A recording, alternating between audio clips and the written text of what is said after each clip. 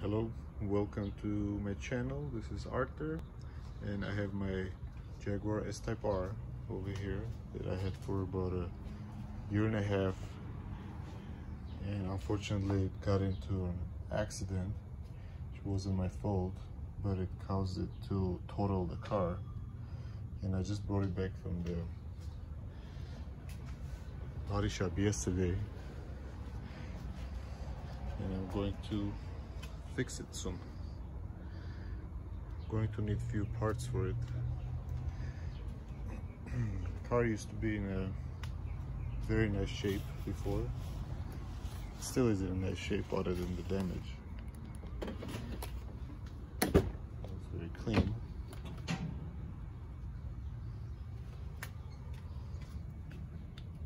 focal components has 122,000 miles on it. It's a 05 so it has the Brembos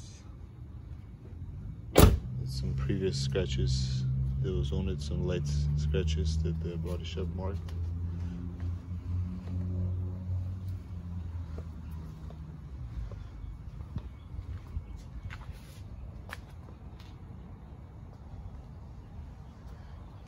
I'm a big fan of these cars and they're pretty hard to find now in good condition.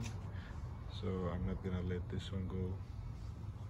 Just like that I'm gonna fix it up. So my damage was mainly on a fender over here was damaged. There's slight damage on the door where it touched the tire. I hit a truck. Made a U-turn illegally and I had no other way but to drive into him. But it uh, insurance said it's his fault which is good. There's a slight damage on the hood. It might need to be replaced or repaired not sure yet. The headlight was fine. The bracket for the headlight got cracked. Might need to get a new one of that. All these coolers and radiator and everything is okay. No damage there this headlight is fine.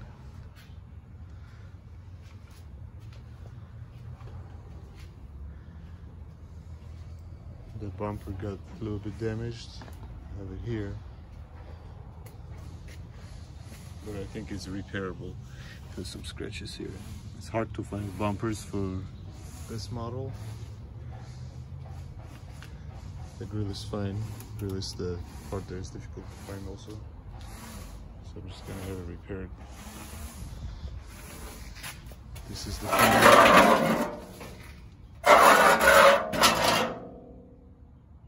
pretty banged up. I already found a parts car. Same color, in fact, nice type R. So I'm gonna go today and try to get some parts off of it to see what I, what's good I can get. Another thing, the alignment got a little bit messed up. So I'm guessing it has a bent control arm or a tie rod. I'm gonna lift it up and we'll check it out together. So here's the bottom of the car. Suspension. These cars often have issues with the rear hub bearings. They go out, replaced quite a few of them on different cars. This one is fine, no issues there. Rides nice and smooth. There's on differential, it's pretty good. Exhaust, all panels are intact.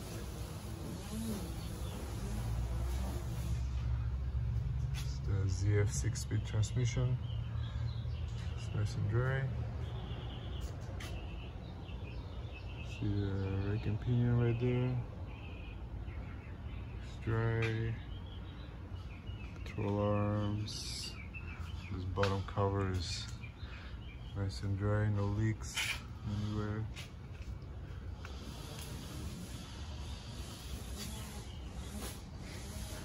These are often known to crack.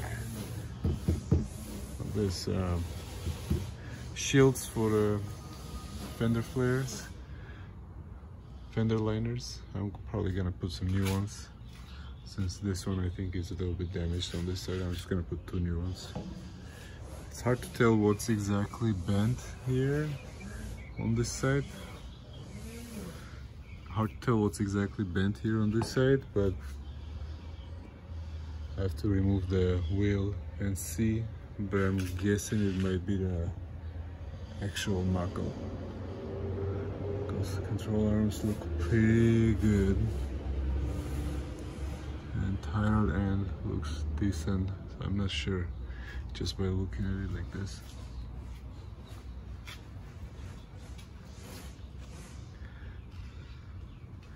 It's gonna take a little time to bring it back to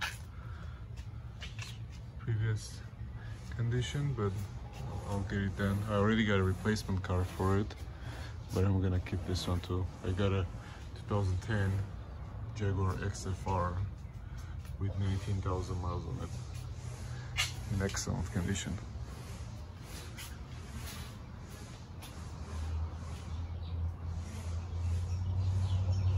Okay, just gonna lower it and look under the hood. Okay, here's under the hood.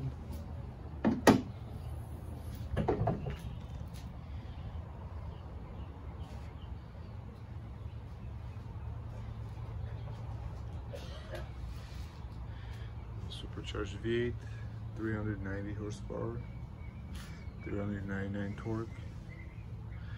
Pulls very nicely with a very satisfying whine.